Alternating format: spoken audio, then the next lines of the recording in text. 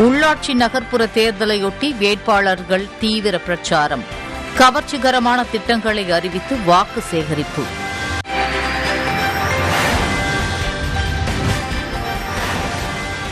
உள்ளாட்சி தேர்தலில் பயமின்றி மக்கள் வாக்களிக்க வலியுறுத்தல். பொதுமக்கள் அச்சத்தை போக்க காவல்துறையினரின் கொடி அணிவகுப்பு.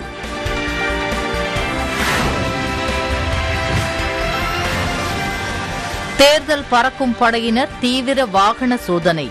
கணக்கில் வராத பல லட்சம் ரூபாய் பணம் பறிமுதல்.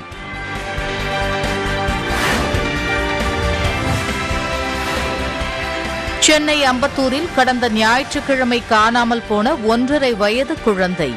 கோயம்பேடு பேருந்து நிலையத்தில் இருந்து மீட்பு.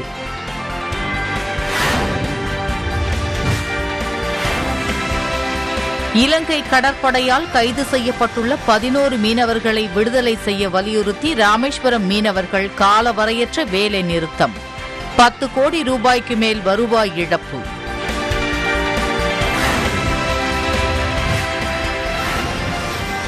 இரு மாநில அரசுகளும் சம்மதித்தால் மட்டுமே மேகதாது திட்டத்திற்கு மத்திய அரசு ஒப்புதல் அளிக்கும். மத்திய ஜல்சக்தித்துறை அமைச்சர் பிரகலாத் சிங் பேட்டி.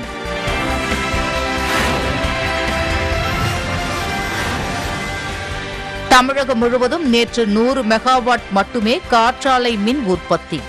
சீசன் முடிந்ததால் சரிவை சந்தித்துள்ளதாக தகவல்.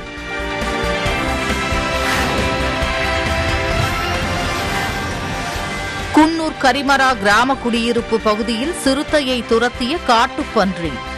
வனவிலங்குகளை கூண்டு வைத்து பிடிக்க வனத்துறையினருக்கு மக்கள் கோரிக்கை.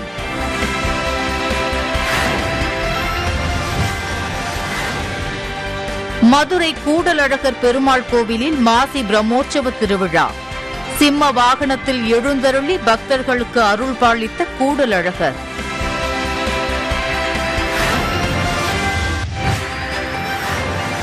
சேலம் காடையம்பட்டி பகுதியில் சாலை ஓரங்களில் விவசாய கருவிகளை தயாரிக்கும் வெளிமாநில தொழிலாளர்கள்.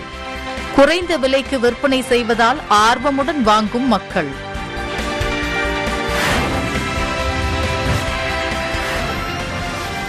திம்பம் மலைப்பாதையில் இரவு நேர போக்குவரத்துக்கு தடை விதித்ததை கண்டித்து தாளவாடி மக்கள் நாளை போராட்டம். பத்தாயிரத்திற்கும் அதிகமானோர் கலந்து கொள்ள முடிவு.